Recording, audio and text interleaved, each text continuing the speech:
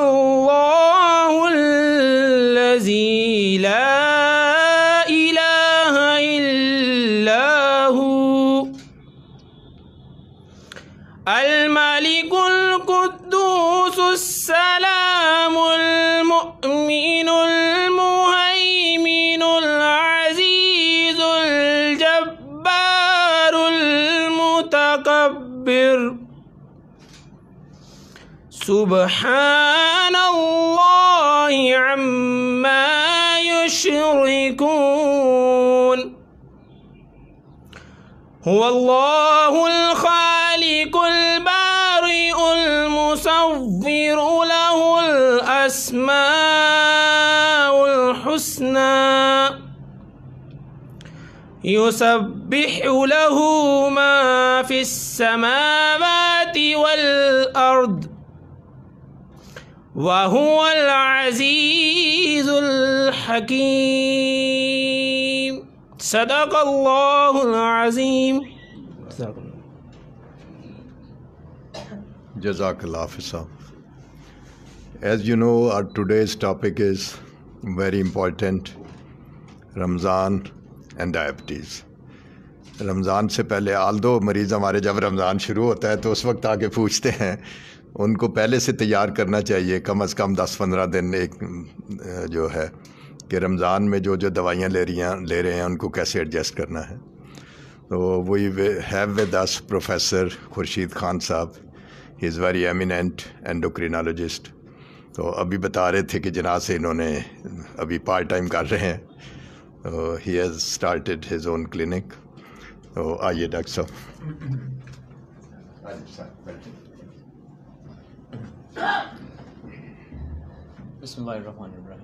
The topic for discussion is diabetes and how to manage our patients with diabetes during Ramadan.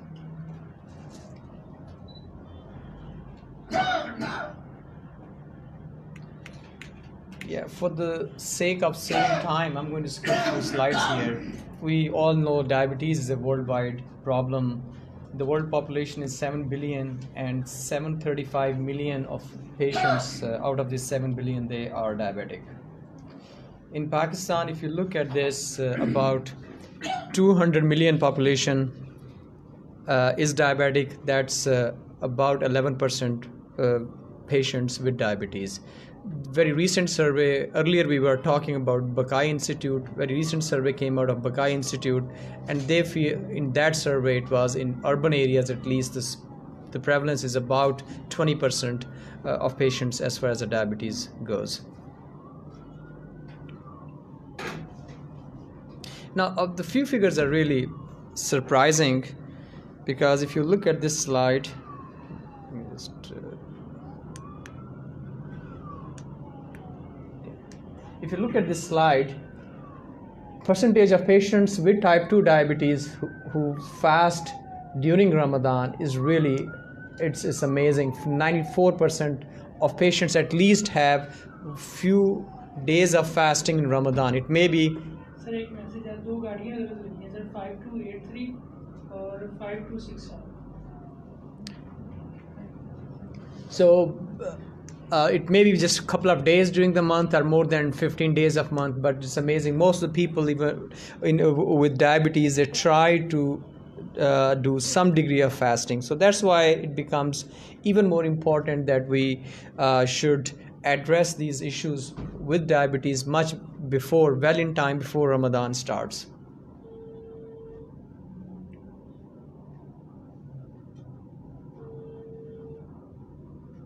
Me skip few slides so that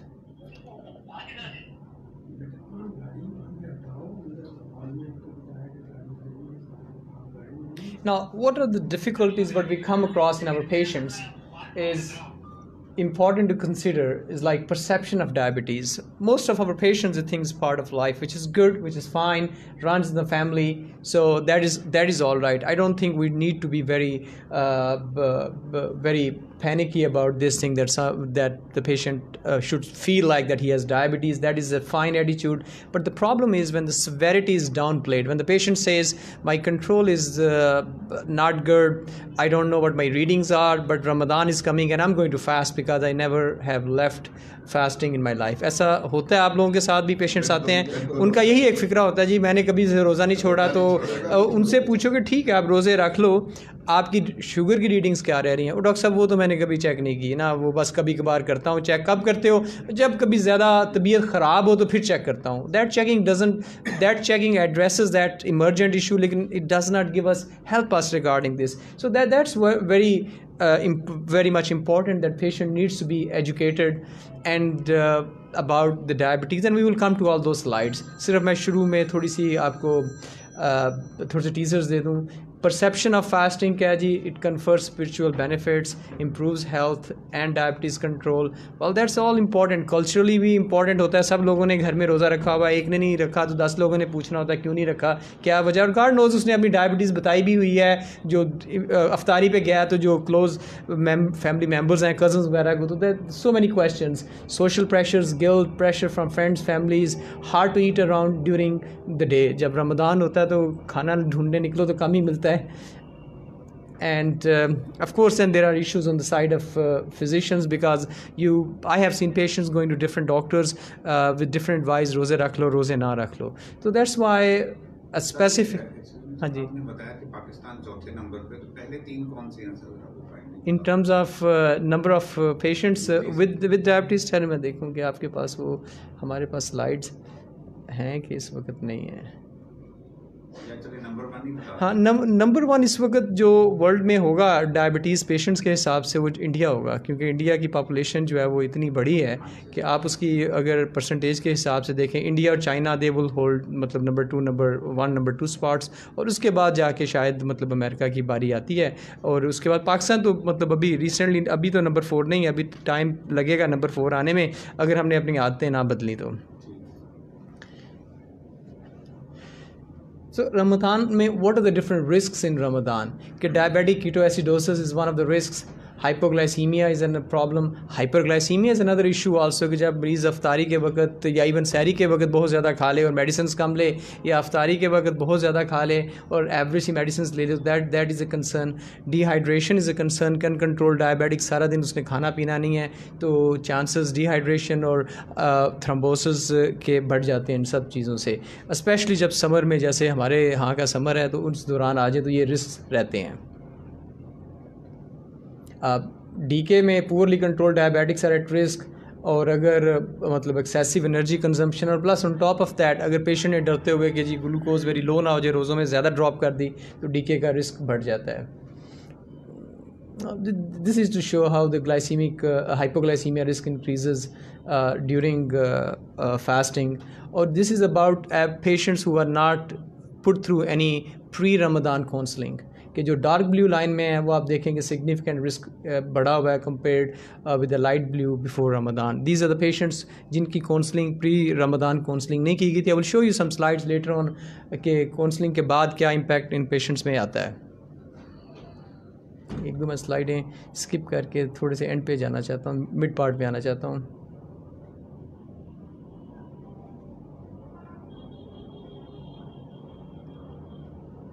हाँ और दूसरा एक बड़ी important बात ये होती है कि वैन पेशेंट इज़ फास्टिंग तो इन दीज पेशेंट्स अगर if you look at the very first slide तो उसमें ड्यूरिंग द फास्टिंग टाइम जो हंगर पैंस हैं, जो हंगर ओवरऑल है, वो इतने लंबे फास्टिंग के बाद वैसे भी क्वाइट सिग्निफिकेंट पेशेंट्स की बढ़ जाती है। तो उसमें एक प्रॉब्लम ये होता है कि अफ्तारी के टाइम अगर आप पेशेंट्स को प्रॉपर काउंसिल नहीं किया पेशेंट ने रेस्ट्रेंट्स यूज़ नहीं की तो वो इतनी भूख में over tends to overdo that some कुछ लोगों की अफ्तारी उस वक्त about it can reach as high as two thousand calories just for one meal खाना खाने से लेके ये मुझे बताएँ कि ब्रेन तक जब सिटाइटी का सिग्नल पहुँचता है, कि ब्रेन जब कहता है कि हाँ मैं मुतमिन हो गया, कितना टाइम लगता है? हाँ? अबाउट हम कहते हैं कि twenty five to thirty minutes आप कह लें मतलब उसके आसपास रख लें। ट्वेंटी टू थर्टी मिनट्स बेशक करने range it can vary from तो नॉर्मली देखें कि अक्सर अवकात जहाँ पे तो अफ्तारी खुली और लोग टूट पड़े अफ्तारी पे तो वो बड़ा एक प्रॉब्लम रहता है। अनलेस के लोग अफ्तारी थोड़ी सी लाइट सी कर लें उसके बाद नमाज़ पढ़ लें और का, काफ़ी दफ़ा देखा होगा जितना आप थोड़ा सा लेट कर देते हैं उतना ही फिर भूख कम रह जाती है।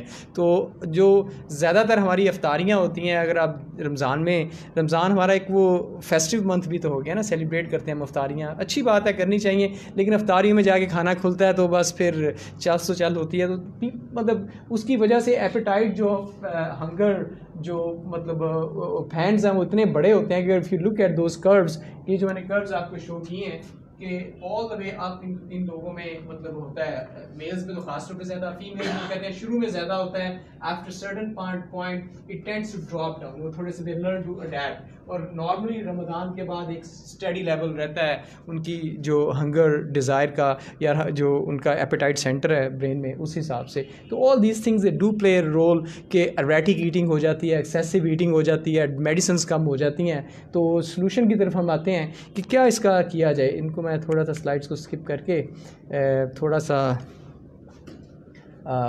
risk factors obviously we need to see one patient comes कि पेशेंट की डायबिटीज़ की क्या टाइप है टाइप वन है टाइप टू है मेडिकेशंस क्या ले रहा है इंसुलिन सल्फोनल यूरिया और other medication S G L T two inhibitors and so on individual hypoglycaemic risk क्या है, उसकी पास्ट हिस्ट्री क्या है कॉम्प्लिकेशंस क्या हैं, उसका सोशल और दूसरा जो वर्क सर्कमस्टांसिस क्या हैं तो that will of dictate us as for what kind of advice we should give, because risk would be different for each patient.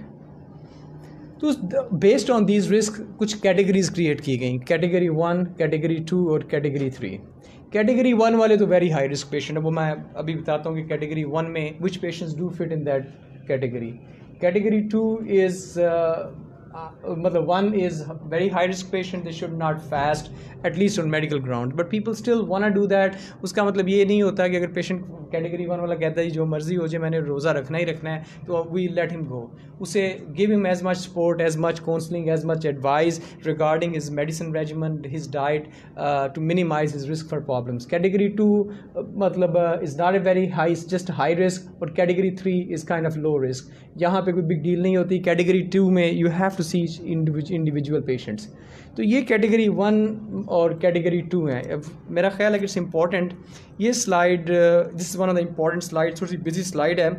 But if you look at this slide category one the patient if they have one or more of the following severe hypoglycaemia within the three months और severe की definition ये है कि patient needed to get help by medical personnel hospital लेके जाना पड़ा, घर में वन वन टू टू वालों ने आके हेल्प की तो that is a severe hypoglycaemia या उस पेशेंट का DK within the three months हुआ है या hyperosmolar hyperglycaemic state H H S उस पेशेंट को हुआ है uh, या उस पेशेंट ऐसा है जिसको हाइपोग्लाइसीमिया का पता ही नहीं चलता। हाइपोग्लाइसीमिया अनअवेयरनेस है poorly poorly control type one diabetic patient है एक सीवियर इलनेस साथ कोई चल रही है निमोनिया से रिकवर हो रहा है एंटाबायोटिक्स चल रही हैं और pregnancy in pre existing diabetes or G D M treated with insulin or sulphonylureas. G D M वैसे नॉर्मली हम करते हैं इंसुलिन के साथ या जब भी इन पेशेंट्स को होती है, या सी के डी वाला पेशेंट्स है जो डायलिसिस पे है एडवांस्ड मैक्रोवास्कुलर कॉम्प्लिकेशंस या उस पेशेंट में है। क्योंकि ये वो पेशेंट है कि वो अगर another major episode of hypoglycaemia will cause significant strain on his coronaries and on his cardiovascular system या बहुत ओल्ड पेशेंट है इल हेल्थ के साथ। ये वाले जो पेशेंट्स हैं, ये तो आपके वेरी हाई रिस्क पेशेंट्स हैं। Normally on medical ground this patients can be told कि भाई मेडिकल ग्राउंड्स पे तो आपको आ, मतलब ज़रूरत नहीं है। रो, रोज़े मतलब मेडिकल ग्राउंड्स पे तो आपको मतलब लेवरेज दिया जा सकता है कि you can skip the fast if they still a fast तो ठीक है फेयर इनफ फिर उन पेशेंट्स की मतलब आ जाएँगी कि what should we do for that जो दूसरा ग्रुप ऑफ़ पेशेंट्स हैं type two diabetics with sustained poor glycaemic control वो वाले पेशेंट्स टाइप टू हैं जिनका कंट्रोल पास में इतना अच्छा नहीं रहा. ये वो पेशेंट्स हैं कि if they if they want to fast they can do that but they have to you need to bring them back frequently to make sure they are doing fine maybe uh, दो चार दिनों के बाद दोबारा clinic में बुलाएं type one diabetic usually वो हमेशा हाई रिस्क रहते हैं इवन वो वेल कंट्रोल्ड भी हों क्योंकि type one is a very brittle diabetes तो टाइप वन वालों में भी जो अनकंट्रोल्ड हैं, वो तो कैटेगरी वन में आ गए। जो इवन कंट्रोल्ड भी हैं, वो भी हाई रिस्क हैं कैटेगरी टू में आ जाते हैं। और उसके बाद well controlled diabetics who are on multiple daily injection of insulin aside from that pregnant type two diabetic or G D M controlled by diet and metformin ये high risk group में they still fall they patient with comorbidities that uh, present additional factors people with diabetes performing intense physical labor. एक patient को diabetic है construction uh, uh, का काम करता है तो और उसने काम भी करना है because needs to bring food to home तो दो दोज आर द पेशेंट्स के जहाँ पे वो डिहाइड्रेशन uh, के रिस्क और दूसरी कॉम्प्लिकेशंस के रिस्क ज़्यादा रहते हैं।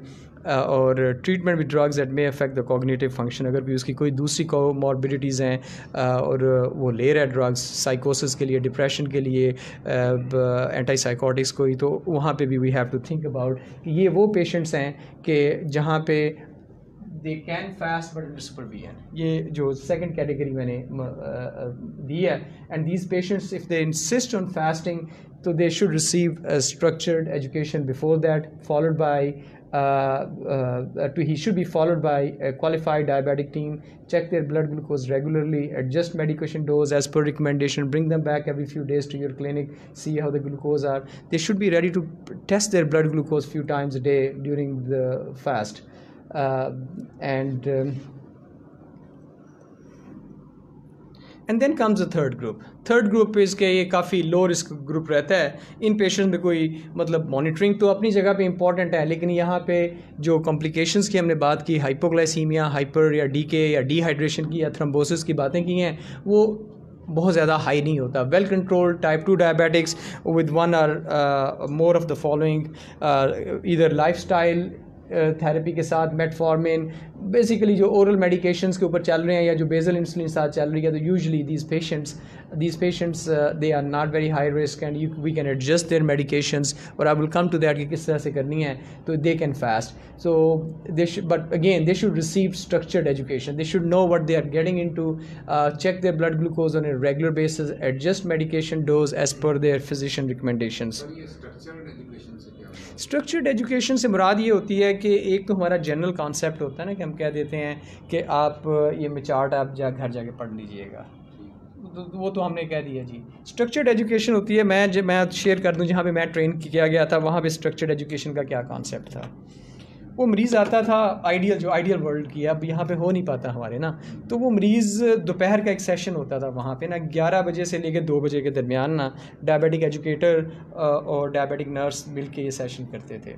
तो उसमें पेशेंट्स को स्केजूल किया होता था स्ट्रक्चर्ड एजुकेशन के लिए कोई दस पेशेंट्स थे और इतना ही बड़ा कमरा हुआ करता था जिसमें वो एक स्क्वेयर टेबल था उसके अराउंड चेयर्स हुआ करती थी।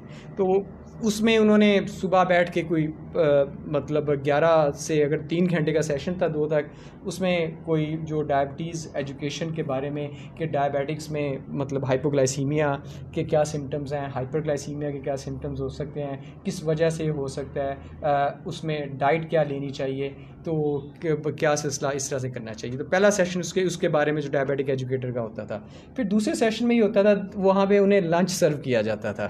लंच सर्व इस तरह किया जाता था कि हाँ लंच सर्व किया अंडर सुपरविजन हाँ जी लंच सर्व कर दिया, अब दस लोगों ने अपनी अपनी प्लेट बनानी है तो देन अब बना के आ गए हैं। और देन वो डायबिटिक एजुकेटर ने कहना हाँ जी, आपने प्लेट बनाई है what was your reason behind कि आपने प्लेट में ये जो वेजिटेबल्स ऐड किए हैं? क्या आप मतलब दोपहर के वक्त क्या आपका रेजिमेंट क्या है? उसमें डिफरेंट लोगों के different different response for example एक ने कार्बोहाइड्रेट ज़्यादा कर दिए। For example was patient was taking high dose insulin at lunch time तो उसने कहा, जी, मैंने कार्ब्स इसलिए ज़्यादा कर दिए हैं कि मैंने हाई डोज है। दूसरे ने कहा, जी, मैं तो प्रोटीन सिर्फ़ इस वक्त देता हूँ, क्योंकि दोपहर को मेरी डोज कोई ऐसा सच नहीं होती। तो मतलब उससे काफ़ी ज़्यादा जो मिस्टेक्स होती हैं करेक्ट हो जाती हैं, क्योंकि not every patient give you a perfect answer तो वो जब डिस्कशन होती है, और उसके बाद फिर तीसरा सेशन ये होता था कि ये दूसरे, दो, दूसरे घंटे का हो गया। तीसरा सेशन ये होगा कि कुछ उसमें डायबिटिक नर्स एजुकेटर ने जो बेसिक टेक्निक्स हैं कि भाई हाइपोग्लाइसीमी मैनेजमेंट के एस्पेक्ट में किस तरह मैनेज करना है हाइपरग्लाइसीमी अगर हो गया, किस तरह से मैनेज करना है, क्या रिस्क की रिस्क है जिस किस पॉइंट पे आपने नाइन वन वन कॉल करके तो एंबुलेंस कॉल कर लेनी और हॉस्पिटल में मतलब चले जाना है और फिर पेशेंट्स के एंड पे क्या रिस्पॉन्स होता है? तो this is what we call really a proper structured education तो मतलब इन आइडियल स्नैरियो अब ये कि हर हॉस्पिटल्स हर यूनिवर्सिटीज़ का डिफरेंट है but that was a huge centre in in the mid west तो दैट्स वाई कि वहाँ पे ज़्यादा स्ट्रक्चर था। कई जगहों जहाँ टाइम स्ट्रेंट्स हैं, वहाँ पे मुमकिन घंटे का चलाते हूँ आधा घंटा तो वो लंच स्किप कर देते हैं दरमियान में, वो ज़बानी कलामी बता। But at least it has to be वो वाला काम नहीं, जो स्ट्रक्चर नहीं होता, वो होता है जो हम कहते हैं ये चार्ट दे दिए, घर जाके पढ़ लेना। वो स्ट्रक्चर नहीं है। उसमें पेशेंट्स का भी पूछना पड़ता है स्ट्रक्चर में ये भी कि हाँ जी, आप करते क्या हैं, क्या, किस वक्त खाना खाते हैं, कि वो जो टेलर मेड हम बात करते हैं ना रेजिमन की, वो हैं जी स्ट्रक्चर प्रोग्राम्स एजुकेशन के, कि आप कहें जी मैं there are lot of patients यहाँ पे भी ऐसे होता है कि वो कहते हैं सुबह मैं ऑफ़िस जाता हूँ, दोपहर को मैं लंच नहीं करता। मैं एक सेब ले लेता हूँ, एक दो बिस्किट ले लेता हूँ दैट सेट उसके बाद शाम को पाँच बजे आके मैं लंच करता हूँ। उसमें जो इंस्ट्रक्शन हमारी होंगी वो डिफरेंट होंगी कंपेयर विद दैट तो ये ये सिलसिला, इसका रहता है जी। प्रिपेयरिंग फॉर रमदान जिसका मेन टॉपिक है। और this has to start before Ramadan the patient we should meet before Ramadan a certain wishes provide advice पिछली स्लाइड पे हम जाएँ। अब वो तो एक मतलब हेडलाइन अच्छा।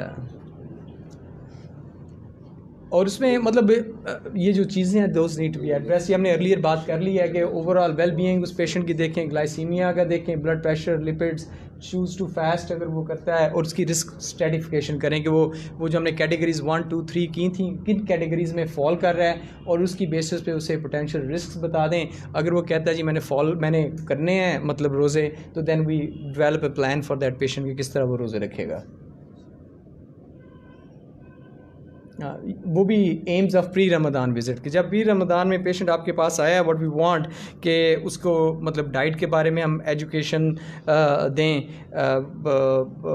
मेडिकल न्यूट्रिशनल थेरेपी के बारे में एडजस्टमेंट उसकी मेडिकेशंस की हम कर दें कि हाँ जी, ये तो अभी तो चलने दो इसी तरह से, लेकिन छः दिनों के बाद या हफ़्ते बाद रोज़े आ जाने हैं तो रूटीन को देखते हुए दवाइयाँ जो हैं रोज़ों में इस तरह से कर लेनी है। एक्सरसाइज का उसे ज़रूर एडवाइस करें। रोज़ों में जो नॉन डायबिट डायबिटिक हैं वो भी एक्सरसाइज बंद कर देते हैं। That is not a good approach exercise should be there बेशक some people feel nervous after doing exercise after sehri based on heavy insulin dose और मेडिकेशन डोज आर टेकिंग उन्हें कहीं अफ्तारी के बाद करने कोई इतनी बिग डील नहीं है।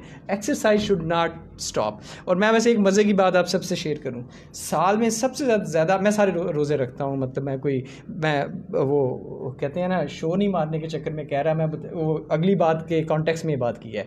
रोज़े रखने के बावजूद साल में मेरा सबसे ज़्यादा एक्सरसाइज वाला महीना रोज़े होते हैं। उसकी वजह पता क्या है? क्या एनी वन गैस के मैं रोज़ों में क्यों एक्सरसाइज ज़्यादा कर लेता हूँ? ज़्यादा खाया जाता है। नहीं नहीं ज़्यादा नहीं खाया। हाँ। एक तो आपने फास्ट किया। हाँ, हाँ। एक एक्सरसाइज की तो वेट लूज हो जाता है और बंदा फिट हो जाता है। नहीं वो ठीक है लेकिन रोज़ों में इसलिए मैं कर लेता हूँ एक्सरसाइज कि we being doctors we all are busy तो रोज़ों में मैं मैं मैं दोपहर का मैं बल्कि अपने दोपहर के क्लिनिक्स को स्ट्रेच कर देता हूँ। क्यों? भाई रोज़ा गुजर जाएगा। नॉर्मली मैं सैटरडे पे प्रैक्टिस नहीं करता। रोज़ों में मैं सैटरडे को भी प्रैक्टिस करता हूँ कि घर वेले बैठ के रोज़ा ही नहीं गुजरना ना। तो इवनिंग में मैं फारिग होता हूँ तो evening gives me lot of time तो बे तो lot of people do that मैं आपको बताऊँ कि ये तो हम बीइंग डॉक्टर मैंने बात की ना। लॉट ऑफ़ ऑफ़िस वो जो शाम नौ नौ बजे तक खुले रहते हैं आठ आठ बजे तक अफ्तारी से पहले बंद हो जाते हैं। तो I think that's another reason for those people tell though sometime you need to tell the patients कि यार मतलब आप रोज़ों में घर जल्दी आ जाओगे तो शाम को अफ्तारी के बाद एक्सरसाइज करो। तो ऑनेस्टली अगर मोटिवेशन हो तो Ramzan is the best month based on our work work schedule ना वर्क रूटीन और दूसरी भी बातें आपने जो कही कि ज़ाहिर है कि बंदा सारा दिन कमज़ोरी के बाद खाना खा के कुछ फ्रेश होता है तो फिर बंदे में एनर्जी भी आती है। वो कहता है, यार टाइम भी है एनर्जी है तो थोड़ी सी एक्सरसाइज कर लें तो exercise is very important there ना। और this is also very important अभी मैं आपको नंबर्स बताऊँगा। मैनी पीपल स्टिल बिलीव कि चेक ग्लूकोज शुगर चेक करने से रोज़ा टूट जाता है। आप में से कितने समझते हैं कि टूट जाता है? चलें। नहीं टूटता। बिल्कुल हाँ बिल्कुल। हाँ? हाँ? तो ही नहीं रहा। हाँ जी। तो मतलब ये है कि glucose monitoring should be done तो ये तो बेसिक हमने प्रिंसिपल्स की बात की ना। तो ये कहते हैं शुगर चेक करें तो कमज़ोरी हो जाती है। उनसे कौन जी वो जग निकाल के खून ना चेक किया करें। वो एक कतरा निकाल के कर लिया करें। और आजकल तो वो ग्लूकोमीटर बिल्कुल टाइनी से हाँ। से भी चेक है। पहले बड़ा ड्रॉप चाहिए होता था आज हिसाब हाँ अब तो वो माइक्रो बिल्कुल तो वो माइक्रो अभी बल्कि एक नई चीज़ वो फ्री स्टाइल वालों ने निकाली ली है लिब्रे पता नहीं आप में से कितने लोगों ने वो देखी है। मेरे कई पेशेंट्स अब यूके वगैरह से मंगवा रहे हैं। अभी पाकिस्तान में भी अभी नहीं आई आ जाएगी किसी स्टेज पे यूके में और वेस्ट द वर्ल्ड में आ गई है फ्री स्टाइल लिब्रे वो ये है कि वो एक छोटी सी चिप यहाँ पे ट्राइसेप पे लग जाती है। मीटर जेब में पकड़ा होता है मैं खड़ा हूँ इधर तो मेरा अगले मिनट दिल किया शुगर चेक कर लूँ क्या तो मैंने स्कैन किया तो अगले सेकंड में उसने मुझे रीडिंग दे दी मीटर ने ना। और दैट वन जो पीस होता है वो दो हफ़्ते के लिए चलता है। तो इट्स नॉट दैट बैड नहीं होता। हाँ? उसमें वो पता भी नहीं चलता। वो पता कि ऐसे लगता है टेप से कोई चीज़ हल्की सी बाजू पे लगी है और बाद में जी कैसे हैं? मतलब खैरियत से हैं ठीक हैं?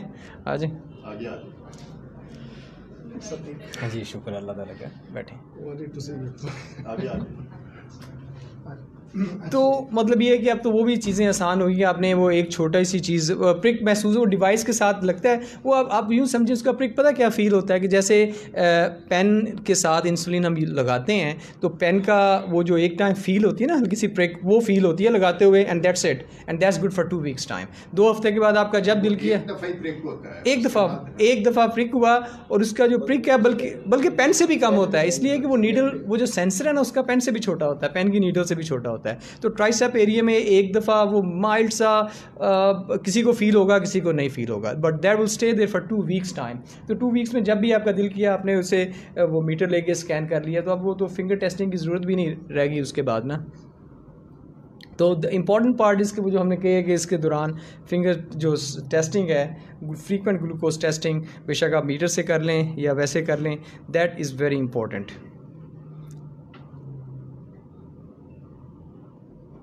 हाँ वो मैं जो अर्लियर बात कर रहा था कि इस स्टडी में अगर आप देखें 2015 की स्टडी है, कोई इतनी पुरानी स्टडी नहीं है तो उसमें भी एक जो पेशेंट से सर्वे किया गया उसमें आप देखें कि अबाउट 67 परसेंट पेशेंट्स का रिस्पॉन्स ये था कि फिंगर स्टिक्स अलाउड नहीं है ड्यूरिंग रमदान रोज़ा जो है टूट सकता है। तो दैट्स वाई के मतलब वो मैंने हाईलाइट किया कि दैट नीड्स बी डन इससे कुछ नहीं होता। तो स्ट्रक्चर्ड एजुकेशन की तो हमने बात काफ़ी डिटेल से कर ली जो कि हेल्थ केयर प्रोफेशनल्स का आ, मतलब काम है। उसके लिए जैसा भी आपके पास सेटअप है ब्रीफ कर लें लेकिन उसे प्रॉपरली उसके लाइफस्टाइल को देखते हुए उसकी डाइटरी हैबिट्स को देखते हुए उसे आप ज़रूर प्री रमदान काउंसलिंग में मतलब एजुकेट करें फॉर पीपल विद डायबिटीज़ अच्छा वो मैंने अर्लियर आपको एक स्लाइड दिखाई थी कि डायबिटिक एजुकेशन के बगैर जब प्री रमदान काउंसलिंग के बगैर वो आपने देखी किसी को याद है उस स्लाइड में हाइपोग्लाइसीमिया का रिस्क कितना ज़्यादा हुआ था? How significant was risk of hypoglycaemia in there वो जो मैंने आपको याद होगा मैंने कहा लाइट ब्लू और डार्क ब्लू वाली। नहीं? फाइव सिक्स टाइम ज़्यादा रिस्क था कंपेयर विद जो नॉन मतलब प्री रमदान और पोस्ट रमदान इनका रिस्क बढ़ा, जिन्हें हमने एजुकेट नहीं किया। अब वो हमने बात जो इतनी एजुकेशन की की है तो role of diabetic education actually if you provide them good education तो उनका रिस्क ऑलमोस्ट उतना ही होता है जितना प्री रमदान होगा। लेकिन सम पेशेंट्स में इवन उससे भी कम इसलिए हो जाएगा कि यू थोड़ी सी मेडिसिन को भी आपने रिलैक्स कर दिया और पेशेंट को मज़ीद आपने एजुकेट कर दिया फर्दर तो they there actually may do even better in terms of hypoglycaemia अगर प्रॉपर एजुकेशन और प्रॉपर टाइम उस पेशेंट को uh, मतलब uh, दिया दिया गया है uh, उन पेशेंट्स में ना। ये वही, मैंने वही स्लाइड दोबारा आपको लगे, जहाँ फोर टाइम्स मैंने कहा था ना, वो उसकी समरी आपको यहाँ पे दे दी। तो जहाँ पे एजुकेशन की गई है, वहाँ पे आप देखें रिस्क या उतना रहा या कम हो गया, और जहाँ पे फोर टाइम्स रिस्क बढ़ गया है, जहाँ पे आपने प्री रमदान डायबिटिक पेशेंट को उसकी काउंसलिंग नहीं की, वो जो स्ट्रक्चर्ड एजुकेशन की बात है, वो हमने नहीं की तो ये प्रॉब्लम आ जाता है। अब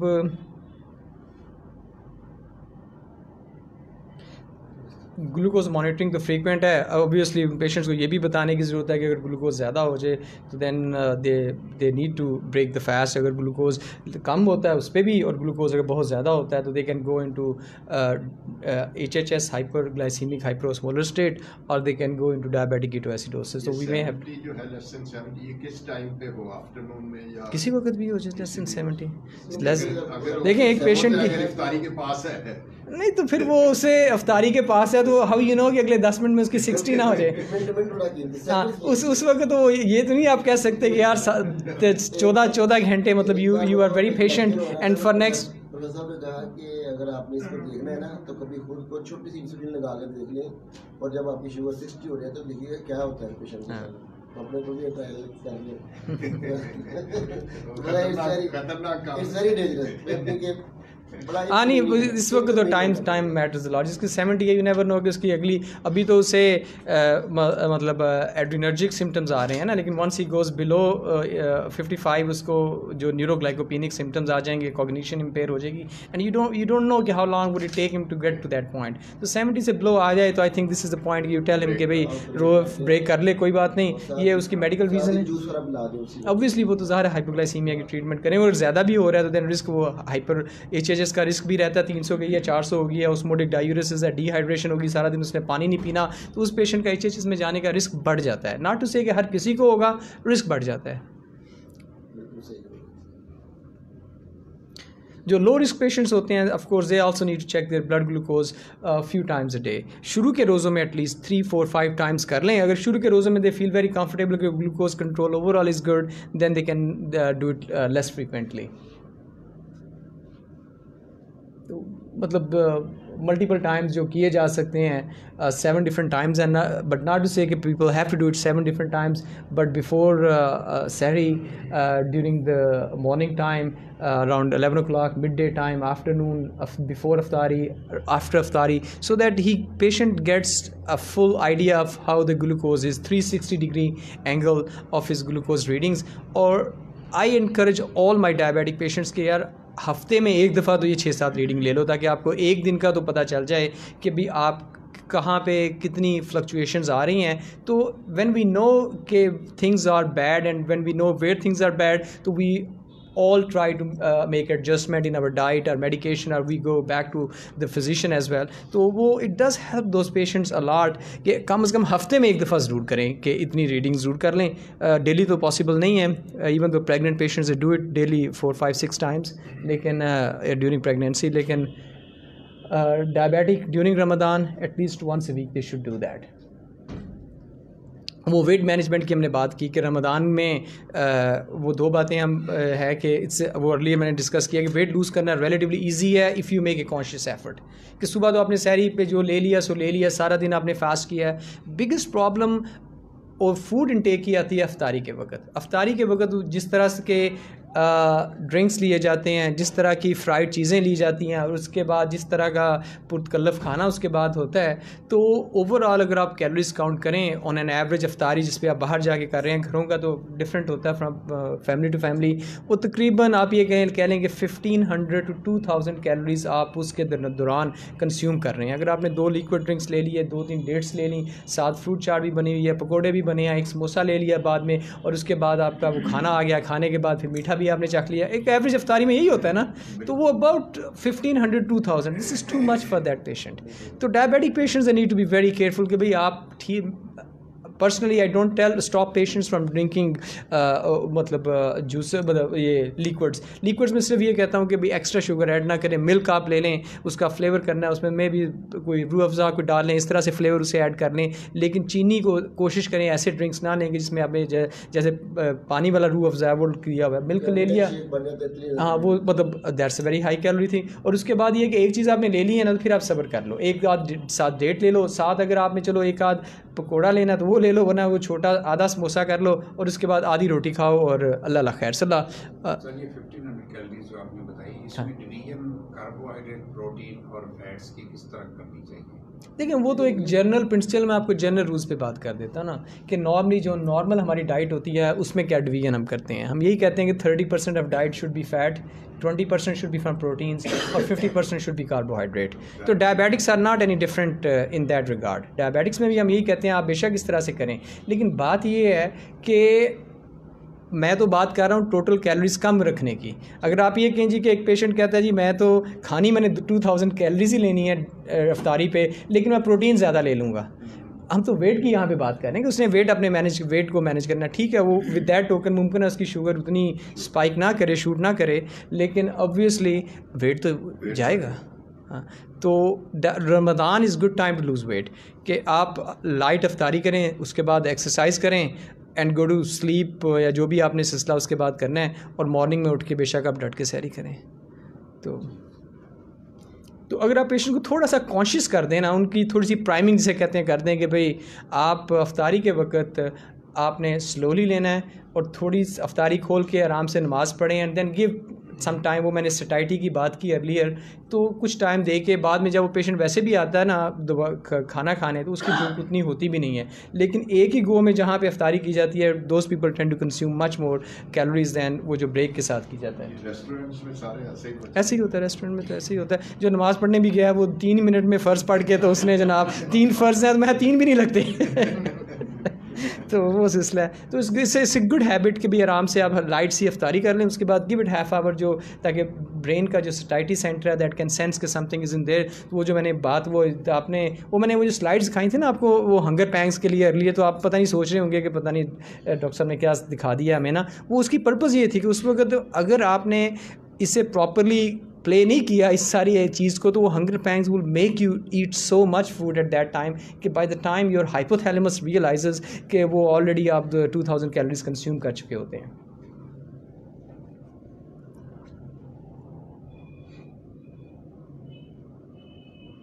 सर ये जो खाना स्लोली चबा के खाया जाता है वो भी बेनिफिशियल रहता है? Absolutely. बिल्कुल मतलब ये देखें उससे भी आपका सटाइटी सेंटर तो सेटिस्फाई मतलब होता है मतलब अ, आप किसी दिन आप यूँ तजुर्बा करके देखें आप कोई भी चीज़ ले लें एक एक्सपेरिमेंट मैं आपको देने लगा बर्गर ले लें पिज़्ज़े का स्लाइस ले लें या जो ब्रेड ले लें पिज़्ज़े की बात चलो मैं करते हैं जब हम पिज़्ज़ा खाने जाते हैं तो आपने कभी रियलाइज़ किया कि तीन तीन चार चार स्लाइसेस पिज़्ज़े के आसानी से लोग खा लेते हैं? आपको पता है एक पिज़्ज़े में कितने एक स्लाइस में कितनी कैलोरीज हैं? साइजेस के ऊपर है लेकिन मेरा हाई कैलोरी है क्योंकि हाँ। उसमें हाँ जी भाई अबाउट वन साइज़ के ऊपर है अगर लार्ज साइज़ पिज़्ज़ा है वन एंड हाफ़ ब्रेड के बराबर है अब आप किसी ने तीन स्लाइसेस भी लिए हैं उसने साढ़े चार रोटियाँ खा ली हैं तो वो क्यों उसकी वजह क्या तीन बाइट लिए स्लाइस अंदर उसके बाद अगला स्लाइस आया तीन बाइट लिए दस मिनट में आपने स्लाइसेस कर दिए यहाँ पे आपका सटाइटी सेंटर नहीं कंट्रोल कर रहा किसी चीज़ को बस आपकी वो कहते हैं वो नज, नज़रें नहीं भर रही नज़रें खाई जा रहे हैं आप वॉल्यूम है वॉल्यूम कम है हाँ और हाँ वो न्यूट्रिशनली रिच भी है। अगर इसी तरह रोटी खाएँगे वॉल्यूम ज़्यादा है और उसमें जो कैलोरीज कम है होल जब वो अगर वो होल वीट है तो। एक्सपैंड होता है तो तो वो मैं बात वो करने लगा था कि जो खाना आप जल्दी में खाते हैं ना क्योंकि पिज़्ज़ा आमतौर पर लोग मैंने देखा है मंगवाते हैं दस मिनट में ख़त्म कर, कर चुके होते हैं लोग ना अक्सर। वो आपको आ, उसमें आपका सटाइटी इतनी ज़्यादा फौरी नहीं आती। हाँ बाद में obviously your system senses that लेकिन by that time damage has been done तो वो जो आपने बात की कि चबा के खाएँ, आहिस्ता खाएँ I think so good habit overall कि खाने में को आप 10 15 20 मिनट लगा के आराम से खाएँ। सारा दिन लाइफ इतनी हैक्टिक रहती है। 15 20 मिनट आपको वैसे भी सुकून मिल जाएगा और के, और खाना भी आराम से और आपकी एपेटाइट भी उतनी ज़्यादा नहीं बढ़ती। आप ओवर ईटिंग नहीं करते जी। और पेशेंट को टारगेट दें रमदान में। उनसे कहें, जी, आपके चार हफ़्ते हैं। चार हफ़्ते में आप ज़्यादा मैं बड़ा नहीं करने लगा। एक किलो आप हर हफ़्ता लूज़ करें। मैं आपको बताऊँ आई बेट यू जिस जिस पैटर्न पे अभी तक मैंने बात की है उस पर मतलब मैं खुद करता हूँ अपने पेशेंट्स को। It takes me only like one और टू मिनट्स क्योंकि ये पेशेंट्स पहले ही एजुकेटेड होते हैं about all those things to tell them briefly कि अफ्तारी के वक्त उन्होंने क्या खाना है। तो इट हेल्प्स देम लॉट और प्लस आप उनसे कहते हैं कि ज़्यादा वेट मैं एक्सपेक्ट नहीं करता। आप ऐसा करें, चार हफ़्ते हैं, चार हफ़्ते में आप वन एंड हाफ़ के जी पर वीक के हिसाब से मुझे तकरीबन छः किलो वेस्ट कम कर दें। छः नहीं तो चार किलो तो वो मतलब कर सकता है। कई उसमें से करते हैं, कई फॉलो नहीं करते, लेकिन इट डज़ मेक सेंस मैं आपको बताऊँ कि Ramadan is a very good time to like educate your patients on uh, how they should eat or if it, this, this discipline becomes part of their everyday life or activities का सिलसिला रहता है। तो it's it's important कि this is an opportunity we should not let go this opportunity कि रमदान में मरीज़ आया कहता है मैंने रोज़े रखना तो आप कहें हाँ बैठ जाओ इधर जी रोज़ा। और उसे बुलाएँ भी वो खुशी से आएगा most of the people would would come back to you कि भाई हाँ ठीक है हफ़्ते बाद आके मुझे प्रोग्रेस दो मैं देखना चाहता हूँ क्या सिस्टम से टारगेट्स असाइन करके भेजो आप। तो मेरा ख्याल है कि ये हमने ये बात तो वैसे हमने दरमियान में जो साइड ट्रैक होते रहे हैं वो हम करते रहे हैं कि बहुत लार्ज पोर्शंस नहीं आ, लेने चाहिए। Aside from that fast eating वो जो आपने बात की कि आस्था खाने से फ़र्क पड़ता है बिल्कुल पड़ता है which fast eating leads to frequent overeating satiety signal usually takes about fifteen thirty minutes to reach the brain from the time तो इसलिए यू शुड टेक टाइम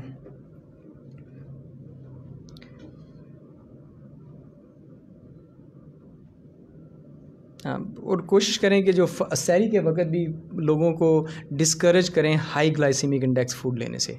उसका नुकसान ये होता है कि तो वो फुली यूटिलाइज होते हैं। Tell them to use as much complex carbohydrates as possible during the sehri time उससे फिलिंग इफ़ेक्ट भी ज़्यादा आएगा कैलोरीज भी ज़्यादा आएगी, और उसकी जो असिमिलेशन है into the body that will be much slower as well तो all those things are important जहाँ तक सैरी की बात है सैरी भी कई लोग बहुत जल्दी कर लेते हैं वो भी ठीक नहीं है कि लोग कहते हैं कि भाई सारी रात का मैं जाग रहा हूँ। चलो एक बजे सैरी करके दो बजे तो अब अब सो जाते हैं। तो obviously it's it's not a not a good practice from medical ground is not a good practice मेरे एजुकेशन के ऊपर तो we should not do more वो तो हमने काफ़ी डिटेल से बातें कर ली। एजुकेशन के ऊपर uh, ये बेसिक सिम्टम्स हैं हाइपो हाइपर ग्लाइसीमिया के uh, हाँ वो जो अर्लियर आपने क्वेश्चन किया था कि डाइट का क्या प्रोपोर्शन होना चाहिए था तो मैंने आपको दिया था कि carbohydrate about fifty percent proteins about thirty percent twenty to thirty percent और फैट जो है वो thirty thirty percent thirty five percent तक जा सकते हैं। और uh, उसके अलावा include low glycemic index food जो मैंने बात की है कि uh, जो ग्रेन के साथ ब्रेड है वो यूज़ करें। बीन्स वगैरह राइस भी जो मतलब हैं होल वीट ग्रेनरी राइस हैं वो यूज़ करें। Uh, और फ्रूट्स और वेजिटेबल्स और सैलड्स यूज़ करें। Has any one any of you tried those rice जो कि ग्रेन के साथ आते हैं? बाज़ार में अब मिलते हैं? नहीं नहीं राइस चावलों की मैं बात कर रहा हूँ।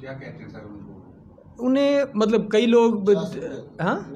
नहीं ब्राउन राइस के नाम से भी कहते हैं तो होल ग्रेन राइस भी उसे कहते हैं। दोनों डिपेंड करता है कि क्या उनकी लेबलिंग क्या है। लेकिन आप इतना सा बोल लेके खाने की कोशिश करें ना तो आप it gives you so much filling effect किसी दिन मेरे ट्राई करें वैसे ही ना किसी दिन ट्राई करें। तो मतलब lot of things can be है जो? अब वो different different companies different brand से लाती हैं। मैं वैसे एक अल्फदा पे चले जाएँ एच के बी पे चले जाएँ, ये जो अब कारफोर खुला है, उस पर चले जाएँ, मिल जाएँगे आपको रेडीली मिल जाएँगे, कोई ऐसा मसला नहीं है। वो बात हमने डिज़र्ट्स की की अफ्तारी के वगैरह डिज़र्ट्स को अवॉइड करें आप। डिज़र्ट को ओवरऑल अवॉइड करें और रमज़ान में जहाँ इतना अफ्तारी के वक्त खाया जा रहा है वो तो बिल्कुल ही अवॉइड करें। और जो फ़ैट की मैंने बात की थी थर्टी परसेंट ले सकें, उसमें जो सेचूरेटेड फ़ैट्स हैं, वो मतलब कम से कम कम रखें। जो ट्रांस ट्रांस सेचूरेटेड फैट हैं, वो तो बिल्कुल अवॉइड करें, जितना मतलब आप कम ले सकते हैं। सेवन परसेंट से टोटल कम होनी चाहिए। जो मानो मानो अनसेचूरेटेड फैट्स हैं, वो आप ले सकते हैं, लेकिन जो हम ये पकोड़े, समोसे सारे खाते हैं ना, ये एक तो सेचूरेटेड फैट्स हैं, और दूसरा जब ऑयल बार बार गर्म होकर बनता है ना तो ये मतलब ट्रांस सेचूरेटेड फैट्स उसमें आ जाते हैं। अब तो कई स्टोर्स ने कह दिया जी, हमने बैन कर दिया, हम नहीं करते के वाले कहते हैं इंटरनेशनली लेकिन गार्ड नोज़ करते हैं कि नहीं, लेकिन हमारे यहाँ तो एक कढ़ाई में जो पिछले साल से तेल डलता है वो निकालते कभी नहीं है। आपने देखा होगा वो जो चीमा साहब ने कहा वो नया तेल डाल के थोड़ा सा और काम शुरू करते हैं। तो that is carcinogen also heart के लिए तो है ही है वो कैंसर भी कर, करता है। कार्सिनोजेनिक है दैट इज़ जो ये ट्रांस फैट्स हैं। तो दो थिंग्स तो मैंने वही कहा कि रमदान गिव्स यू रिफ्रेशर कि आपने आपके पेशेंट को gives you an opportunity to talk to your patient explain your patient के how things what wrong he has been doing year long and how he should do it तो एक महीने का ये जो डिसिप्लिन है, ये ना सिर्फ़ इंसान की, वो अल्लाह ताला ने जो रूहानी हिसाब से डिसिप्लिन रखा, वो उसमें वो क्रिएट हो जाता है, बल्कि मेडिकल ग्राउंड्स के ऊपर this is a very good time very good opportunity to address those those things small amount of aside from that caffeinated और स्वीटेंड ड्रिंक्स भी अवॉइड करने चाहिए. Too much caffeine during Ramadan it causes diuresis as well तो वो भी एक थोड़ा सा कंसर्न रहता है, कोई एक बैलेंस के साथ ये चीज़ें आनी चाहिए. टोटल कैलोरीज की हमने बात की कि अगर एक पेशेंट आपका है अबाउट डिपेंडिंग ऑन के उसकी हाइट क्या है, ये उनकी कैलोरीज का स्केजूल बनता है। अबाउट एटीन हंड्रेड कैलोरीज हम कहते हैं। एवरेज मैन के लिए फीमेल्स के लिए अबाउट आप सिक्सटीन हंड्रेड बात कर लें।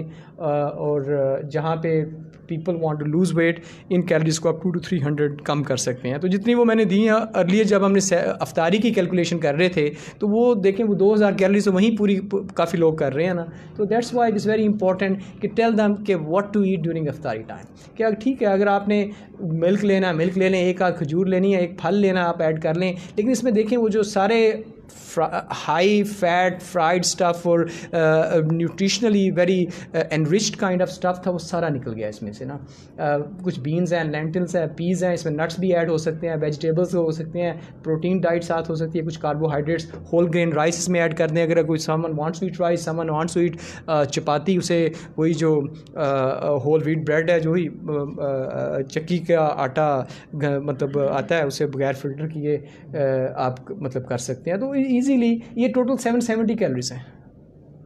अब इतना खा के तो मेरा ख्याल है कि मरीज़ जो है इत, थोड़ा बहुत सेटल होना चाहिए और ये सिर्फ़ सात सौ सत्तर कैलोरीज हैं। चलें जी अब थोड़े से हम दूसरे सिनेरियोज पे आ जाएँ क्योंकि मुझे पता है कि आप सबने वापस लंच भी करना है और अपने क्लिनिक्स में भी जाना है।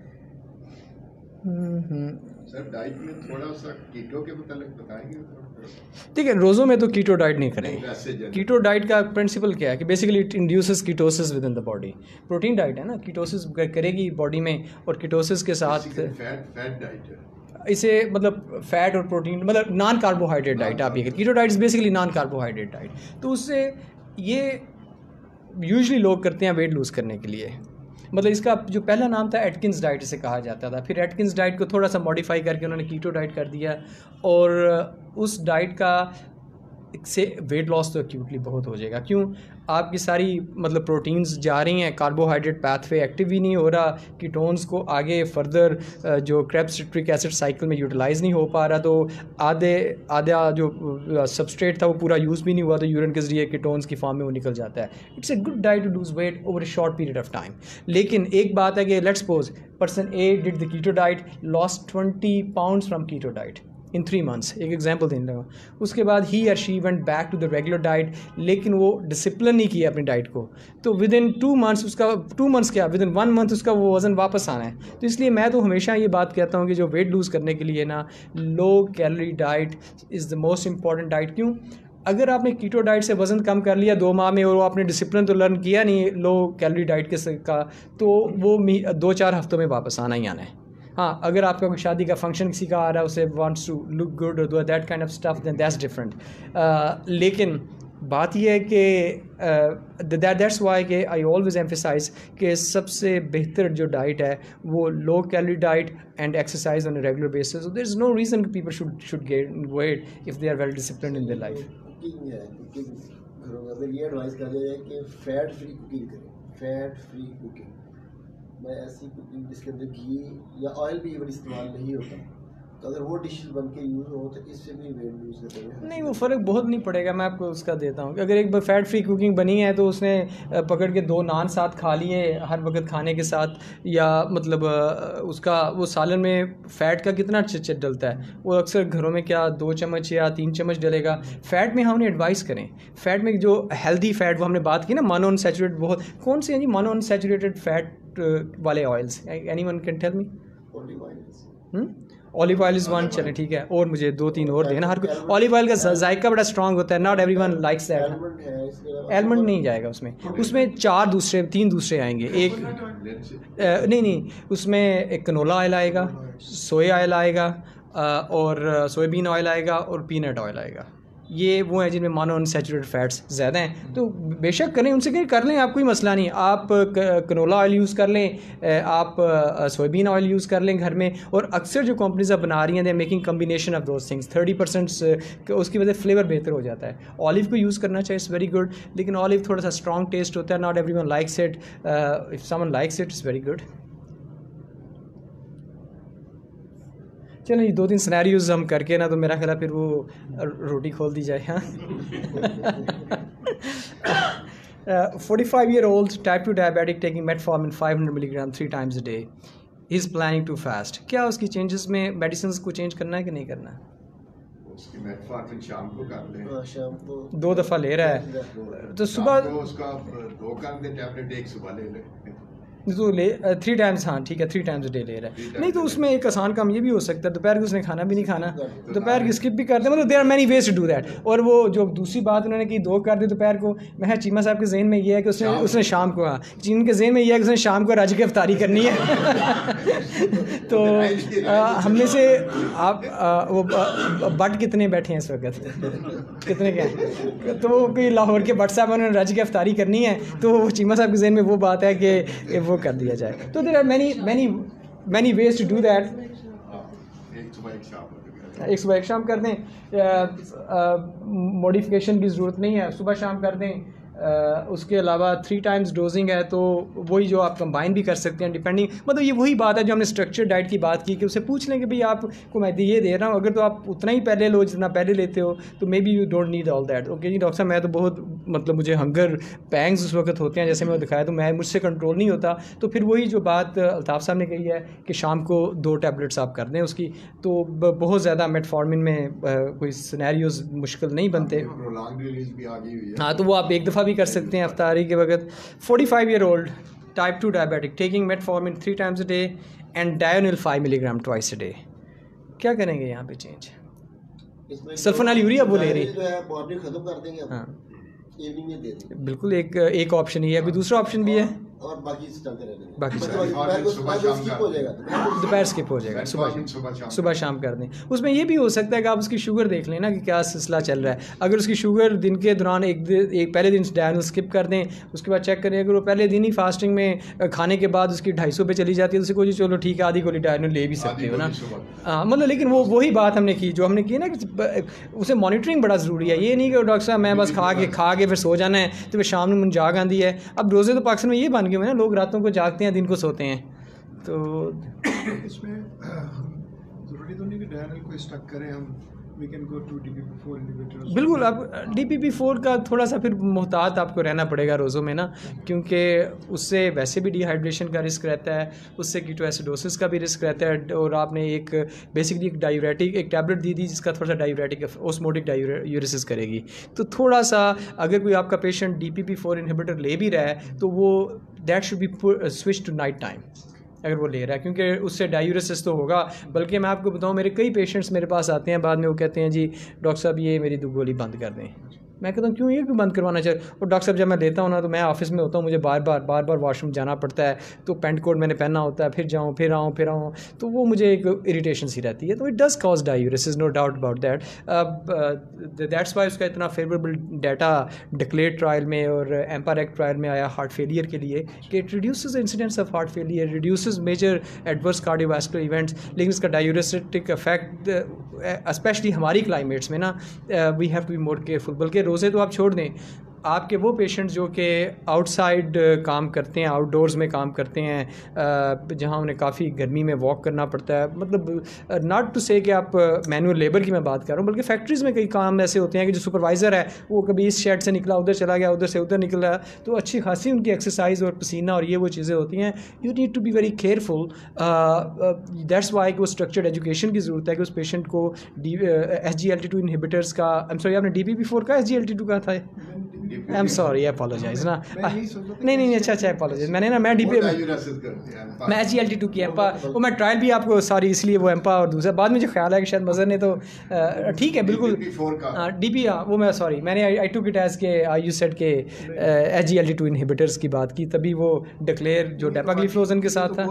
हाँ, बहुत करती है। और हाँ आप बिल्कुल सही, आप ये कर, बल्कि मैं करता हूँ, मैं तो अक्सर पेशेंट्स में ये बात करता हूँ कि सल्फोनाल यूरिया तो अब आपको पता है, नए जो एल्गोरिदम आए हैं, वो तो मैंने इसलिए स्नैरियो रख दिया कि हमारी रियल लाइफ में सल्फोनाल यूरिया के साथ मरीज़ आते हैं।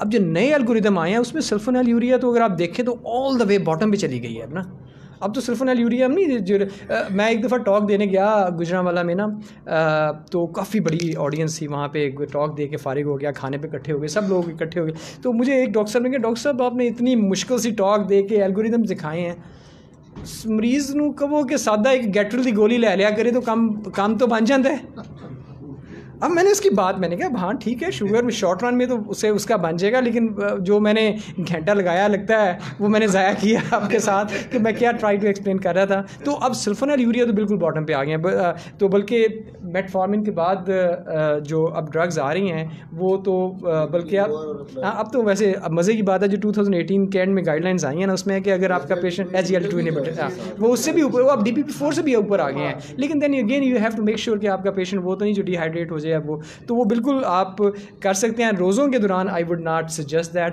अगर करनी भी है S G L T two तो वो शाम को D P P four inhibitor is a very good option ही है। वो जो हमने यहाँ पे यूरिया जो है उसमें अगर हम कहें ना कि पुअर मेडिसिन आप मेटफॉर्मिन के साथ सल्फोनिल यूरिया जो कि बड़ी सस्ती भी मिल जाती है। सस्ती मिलती है है। तो उसके लिए वो सूटेबल है। सूटेबल बिल्कुल सही आपकी ये बात है। भी नहीं वो अफोर्ड कर सकते। तो ये हाँ ज़ाहिर है कि बीस बाईस रुपए की वो गोली आती है। और दो और यहाँ पे तो- और यहाँ पे जो डॉक्टर मजन ने कहा आई मे मतलब मैं आपको बताऊँ रियल लाइफ में मैं क्या अक्सर करता हूँ।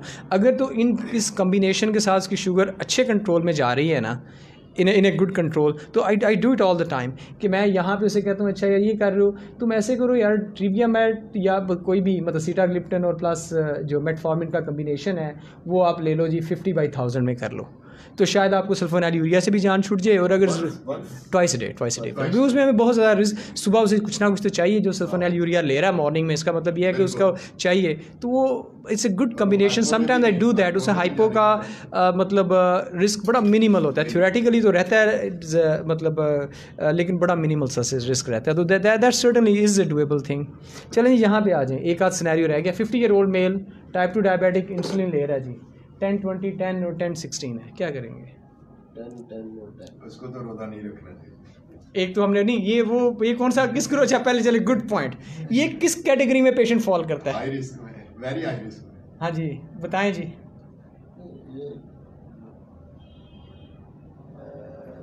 Any one from the other rows हाँ जी।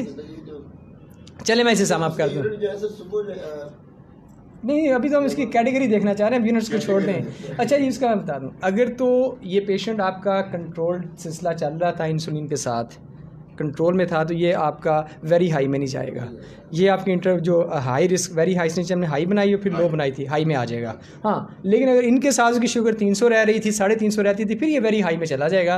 तो he needs to control his glucose before he can come to the तो वेरी हाई में तो हमने कहा कि उन्हें मेडिकल ग्राउंड्स पर हम दे सकते हैं। लेकिन लेट सपोज़ ये ले रहा है इंसुलिन इसकी sugar was in decent control H B A one C was seven point two seven point three percent so he falls in the that high risk group way which जहाँ पे हमने बात कही कि ये वो पेशेंट्स हैं जो अंडर केयरफुल सुपरविजन रोज़े रख सकते हैं if they want to fast और लेकिन दे नीड फ्रीक्वेंट विजिट्स तो मतलब उस बेसिस पे तो ये रख सकता है। अब क्या करेंगे इसके लिए कहते हैं? इसको प्री प्री दी जा सकती है सुबह शाम। इसी को इसी को डोज मॉर्निंग कम करके। आप pre mix twenty five seventy five सुबह दे देती फिफ्टी फिफ्टी रात को दे दे। नहीं तो उसका क्या फ़ायदा होगा?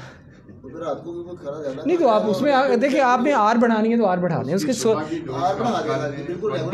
डोज उसकी कम करके उसको प्री मिक्स दे दें सुबह नहीं प्री मिक्स का मुझे बताया आपने प्री क्या एक्स्ट्रा फ़ायदा होगा? प्री मिक्स की मुझे बात बताएँ ना। वो मुझे सर ले रहा है उसकी वो कवर हो जाएगा। दोपहर को देखें नॉर्मली तो हम दोपहर को एनपीएच तो इसलिए थोड़ी सी ज़्यादा रख के देते हैं सुबह को कि दोपहर का मील उसने लेना होता है। मील तो उसने लेना ही नहीं है। तो हाँ जी मज़र आप कुछ कहने लगे थे? मॉर्निंग डोज जो है वो इवनिंग तारीख के साथ आ जाएगी मेरे ख्याल हाँ, और दोपहर का वो तो हो जाए। मॉर्निंग जो सहूर की जो डोजेज है उसमें जो गाइडलाइन स्टार्ट में आई थी वो ये थी कि जस्ट जो इवनिंग डोज है उसको हाफ़ करके मॉर्निंग पे करते हैं। हम्म। शहरी के वक्त हम्म। लेकिन इसमें मैं थोड़ा सा एक्स्ट्रा केयरफुल शायद रहूँ कि लॉन्ग एक्टिंग जो है उसकी बजाय मैं सिर्फ़ रेगुलर मॉर्निंग पे शहरी के वक्त दूँ और दस और बीस जो है वो को दूँ और फिर मॉनिटर करूँ। मॉनिटर करूँ कि टेन ट्वेंटी मॉर्निंग ठीक है और रात को भी टेन ट्वेंटी ही कर नॉर्मली देखिए अगर एक पेशेंट लॉन्ग एक्टिंग मॉर्निंग में ले रहा है ना तो यूजली इसका मतलब है कि उसे कुछ बेजल चाहिए वरना पेशेंट किटोसिस में जाएगा। तो क्योंकि किटोसिस में ज़रूरी नहीं कि टाइप वन वाले जाएँ। जो आपका burn out type two diabetic patient है, जो multiple daily injection of insulin में है, वहाँ पे भी इंसुलिन बनाने की कैपेसिटी बड़ी मिनिमल रह गई हुई है वन परसेंट टू परसेंट रह गई हुई होती है तो दीज पेशेंट्स अगर उसे आप बेजल से कवर नहीं करेंगे तो टाइप वन वाला तो अगले दिन ही चला जाएगा। इनका भी कोई रिस्क रहता है कि अगर एक पेशेंट को बेजल की रिक्वायरमेंट है तो आप बेजल रखें ज़रूर। तो उसका एक तरीका तो वो ये मतलब आपकी किया जा सकता है कि, आपने जो प्री मिक्स की बात की, कि आप उसको अगर लेट्स सपोज़ अगर कोई पेशेंट प्री मिक्स ले रहा है प्री मिक्स में भी जाके, मैं दोनों दोनों तरफ़ आने लगा एक समझ होगी स्लाइड तो नहीं, इसमें कोई हाँ। ये ये वाला सिनेरियो था बेसिकली ना कि जहाँ पे मल्टीपल डेली इंजेक्शंस को लग रहे हैं, यही था ना। तो उसमें आसान तो तरीका ये होता है कि आप बजाय से बहुत ज़्यादा चेंजेस करें, उसमें आप उसकी जो मॉर्निंग की, जो लॉन्ग एक्टिंग डोज है, वो तो उसे, उसको कम चाहिए मॉर्निंग में। क्योंकि बंद ना करें, वो जो आपकी बात बात सही है, मेरा उसमें ये होता है कि आप कम कर दें, आप thirty percent forty percent even fifty percent कम कर दें, उसकी जो एन की है। और अगर आर भी आप समझते हैं कि बहुत ज़्यादा टाइट रहता है उसका खाने के, दो घंटे बाद जो ग्लूकोज आम हालात में जो है वो one ten one O five तक रहती है तो आर भी थोड़ी सी कम की जा सकती है। लेकिन लॉन्ग एक्टिंग तो बिल्कुल आप थर्टी टू फोर्टी परसेंट जो है ना, उसकी ओवरऑल कम कर दें, जो पेशेंट आपकी लॉन्ग एक्टिंग ले रहा है। हाँ। और अफ्तारी की जो डोज़ है वो आप नॉर्मल फ़ेज़ में रखें। और जो पेशेंट आपका अफ्तारी की जो डोज है वो मॉर्निंग वाली आएगी ना? हाँ वो हाँ बिल्कुल। में बिफोर ब्रेकफास्ट लेते हैं। हाँ उसमें बल्कि बाज़ अवत डिपेंडिंग ऑन कि मैं वैसे मतलब एक टिप ये दूँ कि चूँकि हमें पता होता है कि अफ्तारी में लोग मॉर्निंग से भी ज़्यादा खाते हैं तो मेरे पास जो पेशेंट्स आते हैं वो उनकी मैं बल्कि पाँच यूनिट बढ़ा भी देता हूँ बढ़ा भी देता हूँ टू बी ऑनेस्ट कि नॉर्मली अगर वो लेट्स सपोज़ थर्टी यूनिट्स ले रहा है मॉर्निंग में तो मैं उनसे कहता हूँ तुम ऐसे कर लो कि इसे थर्टी फाइव कर लो शाम के वक्त और सुबह तुम थर्टी फाइव लेते हो तो फिफ्टी परसेंट मैं में रिडक्शन कर देता हूँ कि आप सेवनटीन यूनिट्स मॉर्निंग में ले लो। तो मतलब रमदान में डिपेंडिंग ऑन कि आपके पेशेंट का स्नैरियो क्या है अगर वो ट्वाइस डेली डोज़ ले रहा है तो अगर उसने डिसिप्लिन के साथ अपनी अफ्तारी करनी है तो फिर तो बेशक वही डोज़ ले ले। जो नॉर्मल डोज़ अफ्तारी पे लेता है, या जो उसमें मॉर्निंग की डोज़ है, वो अफ्तारी पे ले आए, या उसके अलावा अगर आप समझते हैं कि वो मरीज़ है जो कहता है कि अफ्तारी के वक्त मुझसे कंट्रोल नहीं होता, मैं ज़्यादा ही खाऊँगा, आप बढ़ा भी सकते हैं। लेकिन सैरी के वक्त you need to cut down the dose by about twenty five to fifty percent ना डिपेंडिंग ऑन कि उसकी सैरी का सिलसिला क्या है और उसकी ओवरऑल शुगर क्या रह रही है। It will be a safer start मैं उसे सम अप करने के क्योंकि there are many ways to do this a safer ये होता है कि आप about forty to fifty percent morning की डोज कम कर दें। एक patient let's suppose forty units ले रहा है ना मॉर्निंग में। Personally what I do for those patients के या तुम ट्वेंटी यूनिट सुबह ले लो और लेट्स सी क्या सिलसिला रहता है। रात को मतलब नॉर्मली फोर्टी थर्टी लेते हो तो रात को बेशक आप थोड़ी सी बढ़ा लो फोर्टी यूनिट्स और एक दो दिन की रीडिंग्स करके देख लो and then we will decide based on that कि भी क्या सिलसिला रहता है। क्योंकि उसमें वेरिएबल्स काफ़ी रहते हैं और अगर पेशेंट कहता है मैं सुबह के उठ को बड़ी मिनिमल सी अफ्तारी करता हूँ आई नो पीपल कि वो कहते हैं मैं एक सेब खा के रख लेता हूँ रोज़ा have you come across anyone just with one apple अठपेरा तो खैर बड़े तगड़े लोग रखते हैं। हाँ जी, आप कुछ कहने लगे थे? चाय पी के कब चाय मैंने आई हैव सीन दो उन पेशेंट्स में मतलब you you even have to go further low ना उन दोज पेशेंट्स में। तो प्रिंसिपल ये है, बंद तो बिल्कुल ना करें, लेकिन ये कि थर्टी पर टोटल का सेवेंटी परसेंट रिड्यूस करके थर्टी परसेंट कर दें। पॉइंट इज़ कि रोज़ों में सैरी के वक्त जो है ना, वो इंसुलिन या टैबलेट्स जो हैं उनकी डोज को कम करने की ज़रूरत है। और अफ्तारी के वक्त अगर वो थोड़ा सा रिस्ट्रेंट ईटिंग करता है तो बेशक वही रखें या थोड़ी सी बढ़ा दें अपना। दैट इन नट शेल वो ये सिलसिले मतलब रहते हैं जो मैंने केसेस ये कुछ दिए थे। जो आपके पेशेंट्स मतलब हाई रिस्क हैं उनसे कहें कि अपनी ग्लूकोज फ्रीक्वेंटली चेक करें। I think that is very important कि हाई रिस्क पेशेंट्स में दिन में वो जो परली तरफ़ कॉलम बना हुआ है, चार से छः दफ़ा चेक करें। जो लो रिस्क पेशेंट है they should also check it at least two two three times day क्योंकि मतलब ब्लड ग्लूकोज चेक नहीं करेंगे दे वुड नॉट नो कि how things are faring up with them और इंसुलिन की डोज को कैसे टाइट्रेट करेंगे। ये थोड़ी है कि एक डॉक्टर मजर ने कह दिया या मैंने कह दिया तो उसने कहा जी ठीक है, अब तो कोई पक्की बात होगी। है पक्की बात तो उसमें कोई नहीं, वो तो डिपेंड करता versus glucose and that has to be change accordingly so in patients को जो इस, इन रोज़ों के दौरान अगर मैं समरी मतलब आपको करना चाहूँ डोजेस तो आप लोग मतलब यू आर गुड एट के क्या करना है मॉर्निंग किस तरह। लेकिन समरी मैं ये करना चाहता हूँ, आपको देना चाहता हूँ इस सारी टॉक की कि this is Ramadan is a good time के before Ramadan to get in touch with your patient try re educate him वो चीज़ें जो उसने पिछले तीन चार सालों से नहीं, वो फॉलो कर पा रहा वो उसे दोबारा एक तरह से रीस्टार्ट रीसेट बटन है रमज़ान ना एक तरह से। उसकी आपने स्ट्रक्चर्ड एजुकेशन भी कर दें उसे समझा भी दें खाना किस तरह खाया जाता है और किस तरह से अफ्तारी किस तरह से सहरी करनी है कितना फ्रीक्वेंटली चेक करना है किस तरह से अपनी डोज को एडजस्ट करना बेस्ड ऑन दैट चेकिंग तो डायबिटिक एजुकेशन में भी तो हम यही चाहते हैं ना। तो I think in that way it's a good opportunity to like press the reset button on your patient ताकि जो कुछ उसने बुरा आ, या पुअर लाइफस्टाइल रखा है या पास्ट में वो कम अज़ कम उसे एड्रेस करने का एक अच्छा मौका है। और वेट लॉस के लिए भी मैंने बात की है कि बड़ा अच्छा मौका ही है। तो मेरा ख्याल है कि यहाँ पे मतलब स्टॉक कोई क्वेश्चंस हैं तो आई विल टेक